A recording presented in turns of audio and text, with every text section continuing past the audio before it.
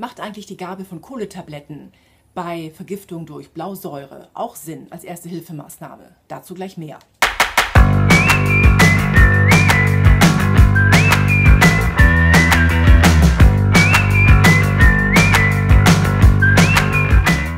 Kohletabletten sind ja die erste Hilfemaßnahme bei Vergiftungen. Leider gilt das nicht für Blausäurevergiftungen oder Vergiftungen durch Frostschutzmittel zum Beispiel.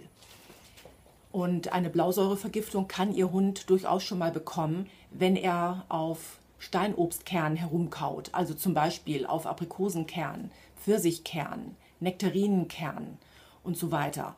Also da kann sich dann Blausäure freisetzen und dann einfach nur zum Tierarzt, ohne vorher Kohletabletten ihm zu verabreichen. Und wenn Sie sich jetzt sagen, ja, jetzt hat mein Rottweiler auf einem Kirschkern herumgeknabbert, das wird so schlimm ja nicht sein.